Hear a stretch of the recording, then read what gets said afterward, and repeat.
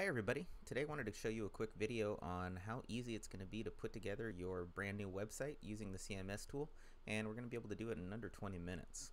Um, some of the feedback that we've gotten about creating the website is that uh, depending on your level of background, it could feel a little daunting to put together an entire website from scratch uh, using a tool that you're not terribly familiar with. But the good news is, is you don't need to know how to code.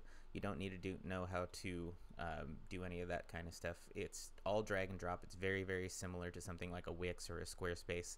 I think you'll find that it's quite easy. So that's what I wanted to show you today. Um, so we're here we are on our dashboard screen, which is where it's going to land you uh, when you first log in. So we're going to go ahead and jump into the CMS tool, which can be found up here.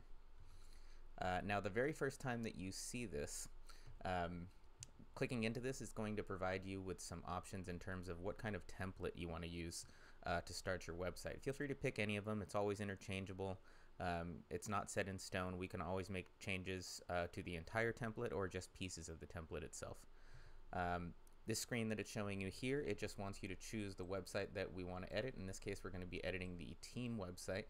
So we're going to go ahead and just click the URL, and that's going to take us to a landing page with a couple of different options here. Um, so what we're going to do is go ahead and dive right in and just start working on the website. I'll go ahead and start my little timer down here in the bottom once we kind of get done explaining everything. But really the approach that I like to take is start with the header and kind of move down the site. There's already some templated options there and you can see it's already pulling in some things. So really the work that you need to do is relatively minimal. It's just a function of doing some customizations, making everything uh, look the way that you want it. So I like to do kind of one sweep uh, top to bottom, uh, make some edits, make some adjustments, and then go back, preview the website, and see if it works for me.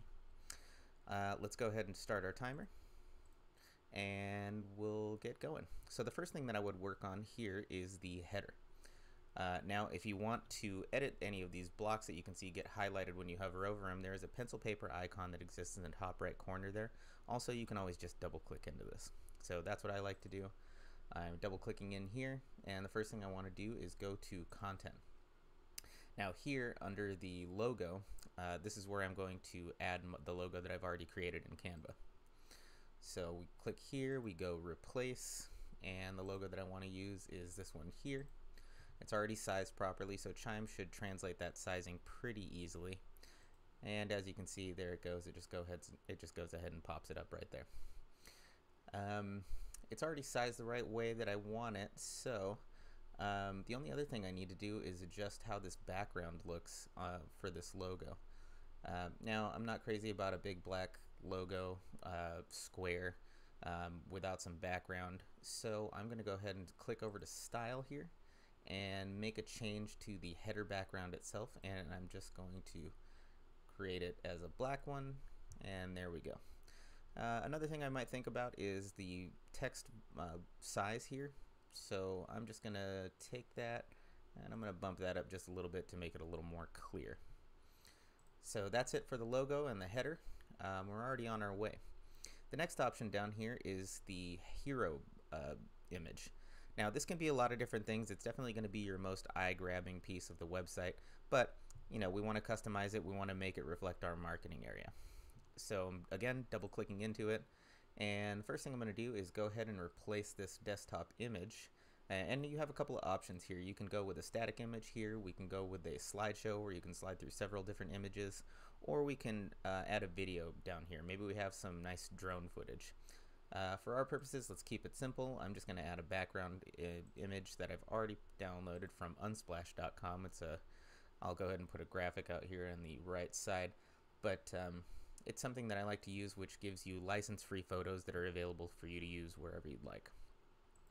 I downloaded a nice one with the Phoenix skyline here and let's go ahead and add that alright so it's replaced now I'm gonna add it and you can see it goes ahead and changes our background image um, now the other thing I would look at here is how these images and how this content is presenting so it seems to be taking up quite a bit of space the first thing I notice here is that this is just a brokerage uh, very boilerplate way of looking at the um, your organization. So what I would do is go ahead and change that. And I'm just going to use my name that I've made up for this, Chimer T7. Uh, I'm okay with the subheading here, so I'm going to leave that. But it seems to me that this guy over here is taking up a little bit too much space. So I'm going to click over here to search section and there's a couple of options here. Advanced search bar is what you're seeing here. And I'm going to try this tab search bar. Still taking up a little bit too much space. Looks a little awkward on my uh, Phoenix Skyline background. So let's just go with something simple like a couple of buttons. This first button here is going to take you to your listings page, which will allow you to search whatever you want. And this second one here is going to take you to the home evaluation page. Uh, this is how we're generally going to be capturing sellers uh, as they go and try to evaluate their home's value. Okay, so we've gotten through that. You can also change these uh, button colors if you'd like. So for example, if I wanted to change it on the high level, I would go here to my style options up in the top left. And the theme colors here what we really want to uh, focus on here are the button colors. So in this case maybe I want a black button um, or maybe I want the hover colors to also be black. I want them to be uniformed. Uh, but if you go ahead and change these you can see up here with the primary colors for the themes it's going to start to change it all over the place so if you like a little bit of black and white this is kind of the way that mine is um, that's how you can change it across the entire site. So moving on down here, this next portion here is the featured listings. Now, featured listings can pull from uh, a number of MLSs and it, you can create a situation where you can show whatever you'd like here. So again, doing the same thing, we're double clicking and we're going to change this a little bit because I'm not crazy about the uh, way that the pictures kind of get squished up against each other. Depending on the pictures that show up, you may want that, but for our purposes, I want them separated a little bit more. So I'm going to go down here to the style, and I'm going to select something that feels a little bit more separated. Uh, this looks a little bit more like a Zillow or Realtor.com, and that site psychology seems to work pretty well. Um, now the first thing that I notice when I close this box is that it's showing five across here. Maybe I want two stacks of these. So again, I'm going to double click in here and I'm going to bump this maximum quality to 10 so that when I close this box here, now you can see it's showing 10 of them. And at the end of the day, if they want to, they can come in here and look at more listings. Uh, let's see. So moving down here, um, your home evaluation, what we this is what we would call a call to action. Now we have a button here that's going to take them to the home evaluation page where they can input their address and uh, try to get their home's value. Now depending on your settings, um, you may set this up in such a way that you can give them a Zillow estimate or you can just create a fulfillment page that uh, tells them that you'll reach out to them uh, as long as we have their information. But the thing that I want to do with this, since it lives on my front page, is just adjust that background. So same thing, I'm double clicking in. Let's get highlighted over here. And I'm going to replace this image with this nice image I downloaded of, uh, let's just call it like a desert scape here. So there it goes. It's going to go ahead and load the image. It's actually a pretty big image here, but it's going to compress it down the way that I want it. And that's what I'm looking for there. Uh, the next option here is a headshot. So this is an agent block and you can pull in as many agents as you'd like right here. Now all that magic happens here in the settings and we'll cover this in a different video in more depth. But uh, down here under team info and agents, you can see that there are some options to add roster agents, import from the CRM. Theoretically, if you wanted to, you could bring everybody in that's uh, already on your CRM, headshots and all, uh, into the site so that you can use that agent block to showcase them. Otherwise, if it's somebody who doesn't have a seat on the CRM, maybe like a transaction coordinator or a marketing person, um, you may want to go ahead and use a roster agent, in which case you just manually upload their information. But that being done, you can now pull all of the information uh, into that agent block. So if I come down here, if I double click into this, you'll see uh, it's already populating uh, the main profile here, but if there were other agents attached to this uh, CMS tool, if you add them, uh, they would show up here and you could just select which ones you wanted to add. So maybe you want to separate them into leadership or marketing or whatever you'd like, anybody that you'd like to showcase on the site. So this seems to work okay for me, but the next thing I want to do is come down here to the reviews block. So if I double click into the reviews block, again, once we put some reviews in here, we can change a background image. So let's go ahead and create a review. A couple of different options to do this. You can go ahead and reference your Zillow screen name here if you want. Uh, if you don't use Zillow or if you're wanting to showcase some different reviews, maybe from like Google, there's a copy and paste kind of option if you just go here to add reviews. Um, it's asking you uh, who you want to create the review for, but in this case, let's create this one. And let's call it chime seller. We'll give ourselves a five here and the review says something simply like it was a pleasure to work with chimer. So we add that review now and you can see there's a couple of more options that pop up here. So again this is a stylistic option that I would take a look at. If you scroll down here to the bottom again we see our change style button if we click that, now we have some options to determine how that uh, review pops up on the front page. So depending on how much verbiage there is, you may want something simple like this. Uh, and you're also going to get your more button down here, which is going to lead you to an already put together reviews page that houses all reviews that you've uploaded into Chime. Uh, this next option here is uh, creating some featured areas. So again, you as the agents, you know what people are searching for. So a good way to assist your SEO is to uh, have something on your website that people are already searching for. So for example, uh, I believe this MLS is connected to a California MLS. So what we're going to do is double click into our block as always, come down here and we're going to add some neighborhoods. Now this pulls directly from the MLS, so we'll go a little simply here and just say maybe I want to showcase San Jose as it's one of my marketing areas. You just type that in, it's going to give you some options and also some options for some different neighborhoods you can see, a lot of them. Um, in this case, what we're going to do is we're just going to showcase San Jose as a whole, add that as a marketing area, and you can see it already populates a block for you. Now this is going to be a call to action on the live site, which I'll show you in a few minutes. But basically what it is is a already put together templated page that pulls data from uh, Home Junction, Zillow, um, a number of our aggregators, uh, to give people an idea of what they can expect pricing wise and um, analysis wise for San Jose. Let's go ahead and add a couple more neighborhoods here. Let's just say Santa Clara. And again, as you noticed before, you can drill down if you want into specific neighborhoods. If there is something that you're looking for specifically, you can highlight it. If it's a hot area, very popular, uh, feel free to put it on here. It's going to hopefully uh, come up as a search result when people start searching for those specific areas. That's the idea. Uh, let's say this last one is Salinas, just for a little bit of uniformity here, because I want three of them going across. You can have as many of these as you'd like, but um, let's just go with this for the sake of simplicity.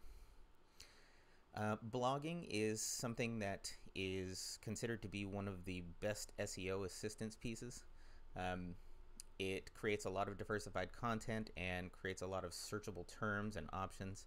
Um, again, it's a very good way to keep your site ranked. So if you already have blogs, uh, we'll go over this in a later video in more depth, but for these purposes, uh, let's just say my organization doesn't blog yet. We'll just go ahead and remove that block. Uh, what you see here now is a banner.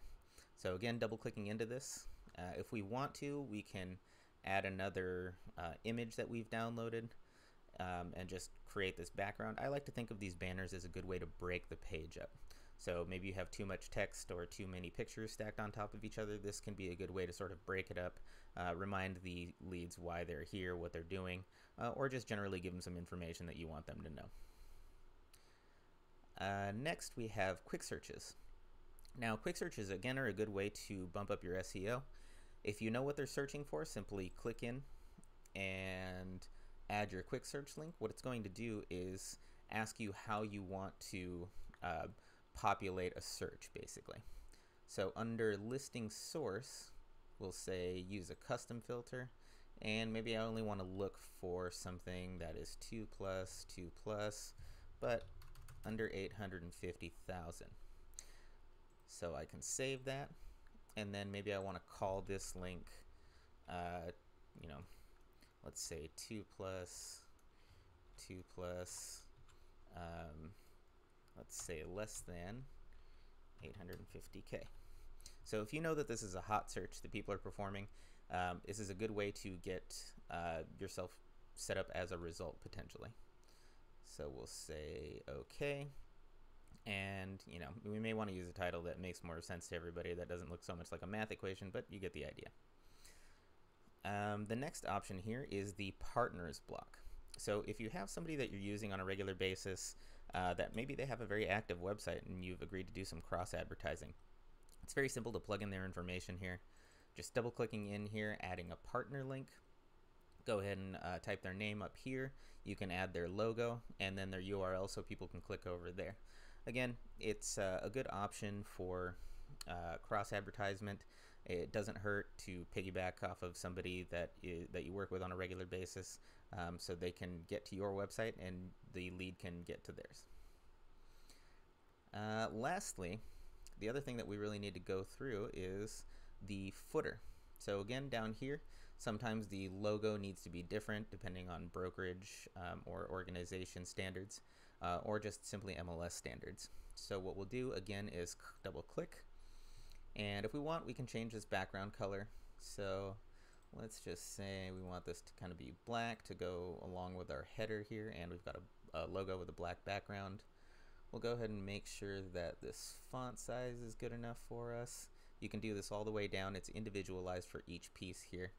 Uh, but more importantly, what we're going to do is scroll down here and we're going to adjust this logo. So again, clicking into the pencil paper icon, I am going to grab my same logo, go ahead and plug it right in here. Here we go. So that's not big enough, I guess, so I'm going to scale that up almost to the max, but not quite. And again, you know, we have some content down here. Um, we can make these adjustments later if we want. Uh, one thing to note here is all of this content is coming from a specific profile, and that's what it's referencing right here. Now, if you'd like this to, if this is going to be a team site and you'd like this specifically to reference the entire organization as opposed to a single agent, simply what you'll do is you'll go into your team info, create a profile, and then maybe you want to call it Chime Brokerage. Um, maybe this becomes an info at or something like that, and then maybe a business line here, um, and then you can name it something so that it recognizes that it's a uh, brokerage, not an individual. In which case, all you do then is select that agent and it will reflect that contact information. Okay, so since we're not using the partners block here, I am going to go ahead and delete that block. And let's take a quick look here. Uh, always remember to publish. This is going to make everything that you've done live and it's going to save everything. So we save it here. And the next thing we want to do is just take a look at the live version of the site as it appears to the leads that show up. So if we click here, now you can see we've got our website here. Uh, our header sits up atop with our new logo. Our background looks good. Our featured listings look good. We've got a home evaluation here um, contact information. If you were to click into this, it's going to go ahead and bring you to a page that is dedicated to this uh, agent. So again, I've added a personal photo here in the team information. Um, you can add whatever you'd like in here, and it's got your contact information, header, footer, everything. So let's walk backwards here. Our reviews look good. Our featured areas look good. We've got a banner image that we can make some changes to if we'd like. One thing I notice here is that this box looks a little bit impacted. So what I'm going to do is jump back into the CMS tool, I'll close my preview, and I'm going to select the box above it, scroll all the way, oh, scroll up here, and just add a little bit of spacing there so it doesn't look so tucked in. Um, you can do the same thing with the quick search block. So just add a little more spacing. That looks good. We'll publish that and we'll have a quick look. So again, just scrolling down, I think we need to do the same thing right here, but for the most part, think we're getting to where we need to be. So that looks much better. Let's go back and make an adjustment to this part here. So again, double clicking into the block that you'd like to edit, scrolling down. We're to add a little bit of space here to space these out. We'll go ahead and publish that, make sure it gets saved, and we're to do the same thing here to our featured listings. So we'll come down here, add a little more spacing so everything's not so squished together, and publish. Alright, so I think this is good for a preview. Let's have a look. Again, taking a look at our header, we can make adjustments to these, but most of this is already templated out for you. Um, we can add some pages and add some navigation here in the uh, website webinar. We'll talk about this more in detail. We'll go into every piece of it. But I would say that in about 20 minutes, we've put together a pretty good website here that is functional, it's capable of capturing leads, and it's got some places for people to go. Again, a lot of these things, as they click these call to action buttons, as they click these um, anything here that's clickable, the, most of the pages are already templated out. It's very rarely going to send them to a blank page. So just keep in mind, um, putting the website together is not so daunting. It's quite easy.